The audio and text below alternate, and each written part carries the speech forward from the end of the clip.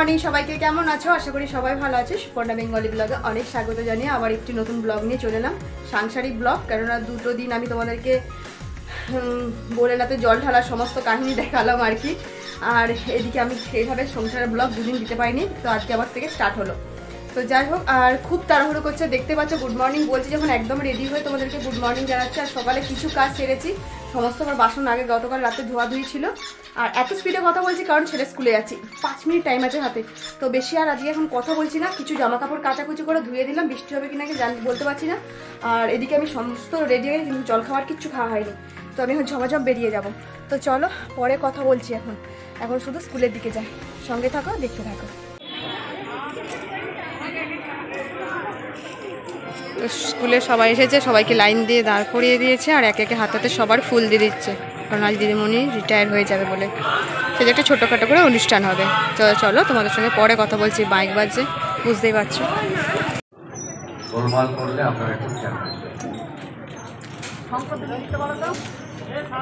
স্বাগত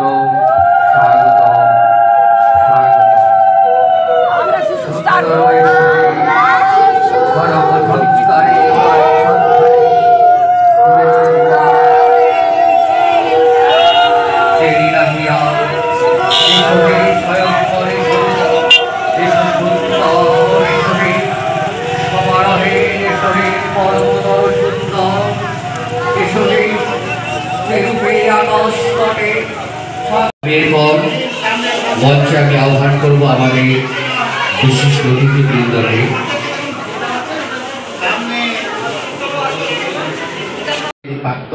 শিক্ষক নাম প্রস্তাব করেছে।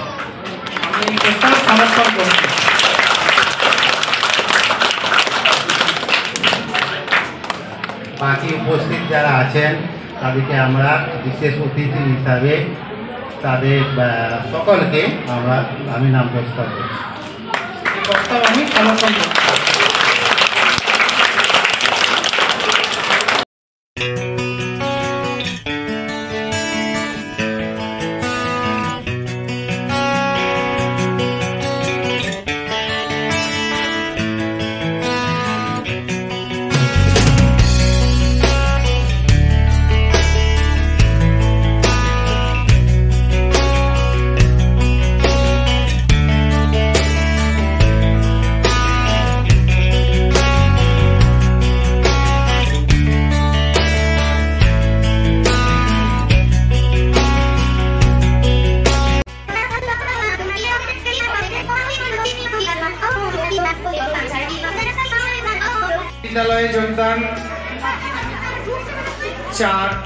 উনিশশো বিরানব্বই অবসর গ্রহণ একত্রিশ সাত দু হাজার তেইশ, মোট কার্যকাল কর্মপ্রবাহে অবসর আমরা নেব।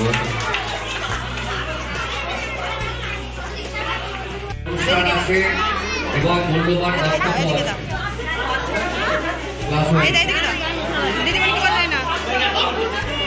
তুই সরা, হয়ে গেছে তো, হয়ে গেছে এখন প্রাক্তন ছাত্র ছাত্রী দিয়ে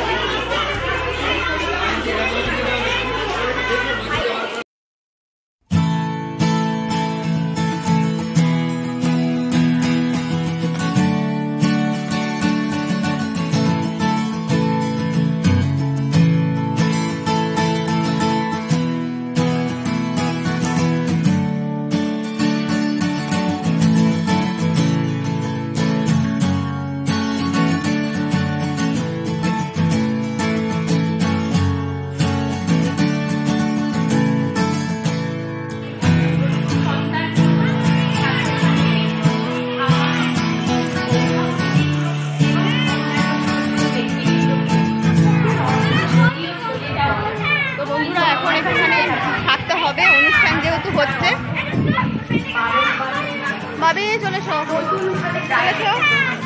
চশমা পর এখানে চোখ লাল হচ্ছে, জয় বাংলা হচ্ছে, চশমা পড়ে না। মানে সত্যি কথা বলতে মায়েদের কি সিস্টেম জানি না। কাছে থাকলে তো আরও চোখে চোখ তাকালে এটা নাকি হচ্ছে? যাই হোক, এখন টিফিন দিল হালকা করে একটা মিষ্টি, কেক আর একটা পেন। এই দিদিমণি রিটায়ার হয়ে গেল আজকেই। সত্যি মন খারাপ। যারা রিটায়ার হয়ে যায়, এত বছর, পঁচিশ ছাব্বিশ বছর নাকি ছিল। মানে এই দিদিমণিটা আসছে না। আর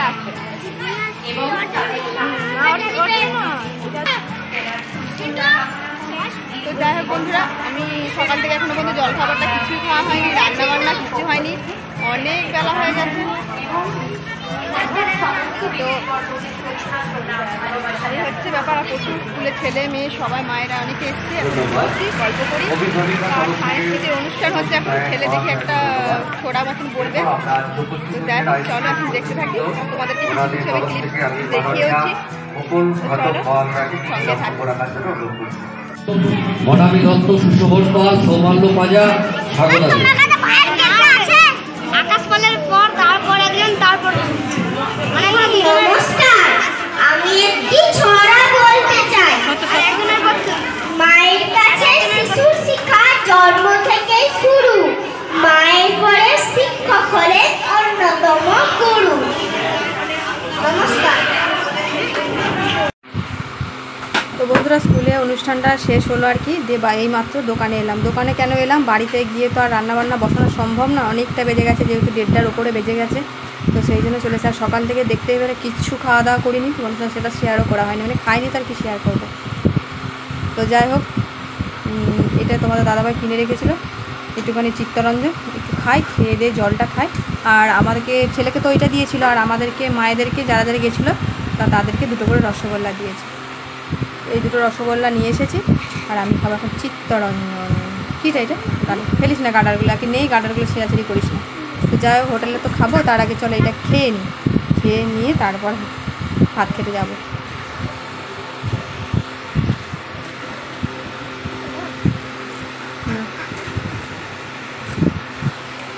তোমার দাদাভাই কাজ করছে।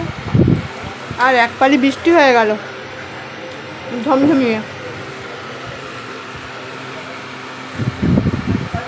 তো চলো পরে আসছি। তো বন্ধুরা, তোমাদের দাদাভাই কাজ হয়ে গেছে, এবার আমরা মানে হোটেলে খেতে যাব আর কি। আর এই হোটেলটা যেটা খেতে যাব, এটা একটা আমাদের এখানে ফাইভ স্টার হোটেল। হাতের সামনে ফাইভ স্টার হোটেল কোনো দিন খেতে মানে গেছে আগে, আমি যতদিন ভিডিও করছি, ততদিন যাওয়া হয়নি। প্রায় এক বছর হতে গেল সেই হোটেলটা খেতেই যায় যাওয়া হয়নি আর কি, হয়ে ওঠেনি। তো নানা কাজে মানে সেটা সেটা খাওয়া হয়ে যাচ্ছে। তা হোটেলে তো বেশিরভাগ আমাদের খাওয়া হয় না।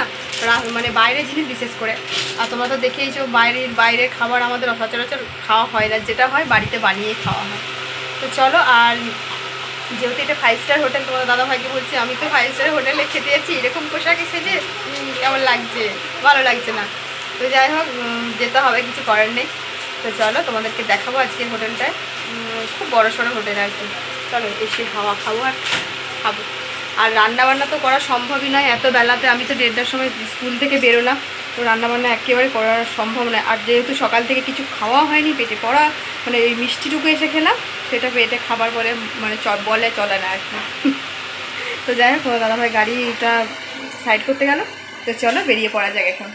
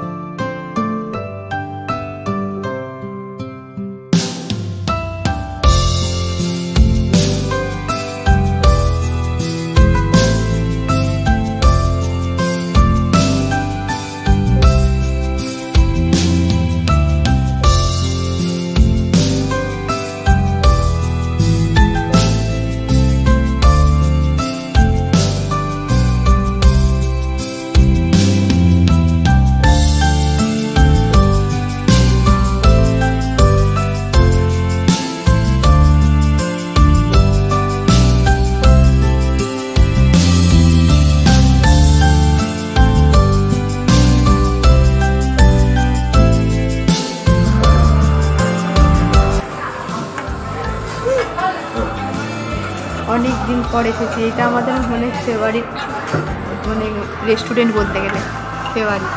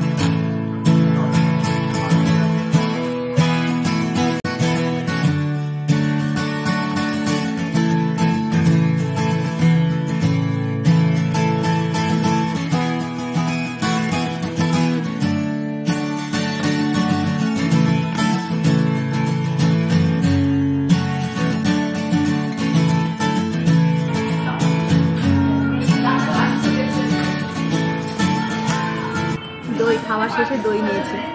তো এক পেটে নিলাম। এইভাবে দইটা দেখালে? বাটি উঠছে যাচ্ছে। মিষ্টি খুব হালকা। আমি দর্শক। না না তুমি দর্শক নয় দর্শকটা এবার হবে আর। দর্শকটা একটুখানি খাওয়াবো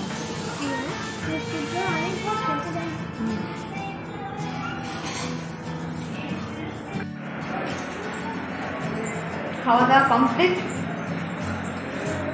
এবার নামছি।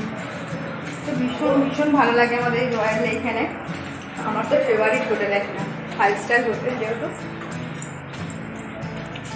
তো এবার দোকানের দিকেই যাব বাড়ি যাব না। এখানে একটা খরগোশ আছে তোমাদেরকে দেখাই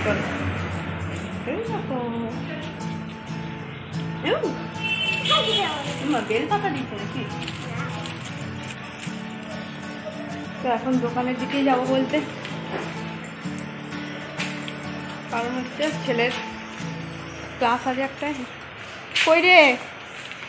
ঠিক আছে আমি গ্যাট গ্যাট করে আগে আগে গেলে হয়, মৌরি খাচ্ছি। তো ছেলের ক্লাস আছে নাচের ক্লাস আছে যেহেতু সোমবার তো সেই জন্য নাচটা একবারে করেই নিয়ে যাব সাড়ে তিনটে বাজতে আসছে। তো সেই জন্য আর তোমাদের দাদাভাই বলল বাড়ির দিকে যেতে হবে না। একবারে আবার নাহলে হুড়মুড় দুড়মুড় করে আসতে হবে। তাহলে কি বলো তো সারাদিনটা আমার বাইরেই কেটে গেল আবার আজকে। তো যাই হোক এখন যাব দোকানে একটু রেস্ট নেব। দিয়ে আবার সাড়ে চারটে থেকে চারটে থেকে ক্লাসটা হবে বলেছিল। তো সবাই বলছে চারটে থেকে অনেকটা রোদ আসা যাচ্ছে না। তো সেই জন্য সাড়ে চারটে থেকে ক্লাসটা করে দিয়েছে। সারাদিনের পর একবার খেলে কী হয় বলো তো হাঁপানি পাচ্ছে জাস্ট হাঁপাচ্ছে। এলে দেখো আসছে। তুই থাক খরগোশের কাছে। আমরা চললাম। ফোন করেছিল নাকি তোকে? হাতে চ্যাটচেট করছে দই একুশটা নিয়ে বসে বসে খেয়ে রিলস বানালাম, কতগুলো ছবি তুললাম। হচ্ছে ব্যাপার স্যাপার তো চলো। গেলো যে আমাদের দাদা দোকানের পেছনে, তবু বাইকেই আসতে হলো। ঘুরে এলাম তো। বাইরে কি পরিমাণে রোদ, মনে হচ্ছে বৃষ্টি হচ্ছে বলে? মনে হচ্ছে না। চলো তাকাতে পারছি না, রোজ।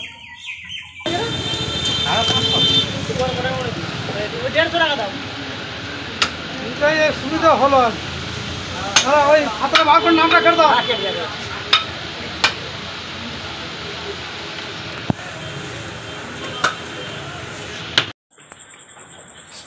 গুড ইভিনিং সবাইকে, আর অন্ধকার অন্ধকার অন্ধকার।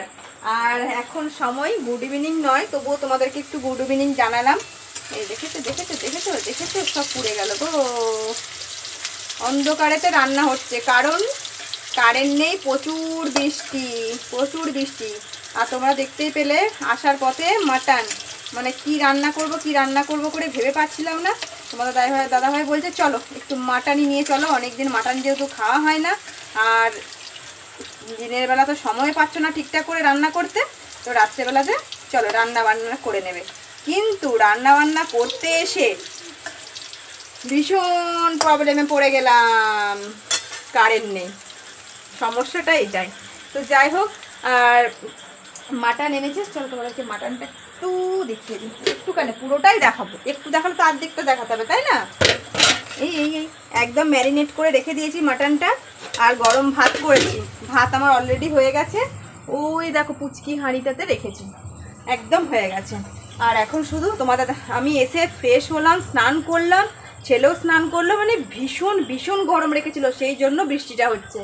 তো যাই হোক, এখন শুধু তোমাদের দাদাভাই স্নান করার বাকি ছিল, কারণ বাজার থেকে একটু কাঁচা লঙ্কা নিয়ে এলাম। কাঁচা লঙ্কা ছিল না, তোমাদেরকে বললাম কদিন ধরে আমি রান্না করতে পারছি না। কাঁচা লঙ্কা, শুকনো লঙ্কাতে পেস্ট করেছি। মানে শুকনো লঙ্কা বেশি দিইনি। যতগুলো কাঁচা লঙ্কা নিয়েছিলাম, সব দিয়ে দিয়েছি। কাঁচা লঙ্কা, শুকনো লঙ্কাটা বেশি দেওয়া হয়নি। তো যাই হোক, এটা হচ্ছে আর আলুগুলো একটা একটা করে তুলে নিচ্ছি, যেহেতু আলুটা ভাজা হয়ে গেছে আমার। আর সারাদিনটা যা আমার উপর দিয়ে ধকল গেল, বাপ রে বাপ মানে মারাত্মক লেভেলে। মারাত্মক লেভেলে ধকল গেছে, যাকে বলে। ভীষণ কষ্ট পেয়েছি গো। আর রিটায়ার রিটায়ার যে দিদিমণি হয়ে গেছে না, সেই জন্য মানে স্কুল থেকে সারা জীবনের মতন ছুটি নিল আর কি। মানে স্কুল থেকে ছুটি নেওয়া যা আর ছেড়ে চলে যাওয়া একটা মানে ছেড়ে ঠিক নয় মানে স্কুল থেকে একদম সারা জীবনের মতন ছুটি। কি বলব? মনটা খারাপ লাগছিল। দিদিমণি তো সারাক্ষণ কেঁদেই যাচ্ছে কেঁদেই যাচ্ছে এক লেভেলে কেঁদে হ্যাঁ? কাঁদছিল না? হ্যাঁ আর তোমাদের দাদাভাই একটা আমাকে আবার দোকান থেকে আসার পথে একটা ছোট গোলাপের স্টিক দিয়ে গেছিল ছেলে যাতে ওকে দেয়। আর সেটা তোমাদের সঙ্গে শেয়ার করেছি কিন্তু এত বাচ্চাদের ক্যাচার ম্যাচারের আওয়াজ যে কি বলব তোমাদের? আর বাচ্চাদের আওয়াজ মানে বুঝতেই পারছ। আর হয়ে গেল আলু ভাজা। আর এদিকে আমি কোথায়? কোথায়? টমেটো আর পেঁয়াজ কেটে রেখেছি। ছেলে নাচের স্কুল ছিল নাচের স্কুলে গেছিলাম মানে সেই জন্য তো আমি বাড়ি আসতে পারিনি। হোটেলে খেয়েছি। কিন্তু তুমি খালি গেছো ওটা গায়ে কিছু দাও। বুঝলে? দেখতে পাচ্ছি না অন্ধকারে। জেনারেটারটা একবার স্টার্ট দিয়েছিলাম তেল বেশি নেই। মানে সরষের তেলও নেই আর ক্যারসিন তেলও নেই। যাই হোক, সুন্দর করে বিয়েবাড়ির মতন স্টাইলের রান্না বান্না করছি। মগজ দান, মগজ বাটা থেকে দিয়েছি, মগজ বাটা দিয়েছি, সমস্তটা দিয়েছি। তো চলো, একটা শুকনো লঙ্কার ফোড়ন দিই। নইলে হবে না। চলো রান্নাটা শুরু করে দিই।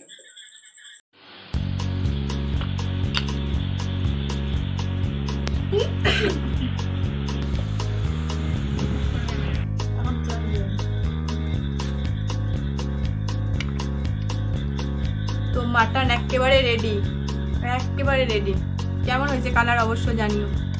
কালার তো সবসময় ভালোই হয়, তাই না? মাটন গরম গরম মাটন এটা? খাবি?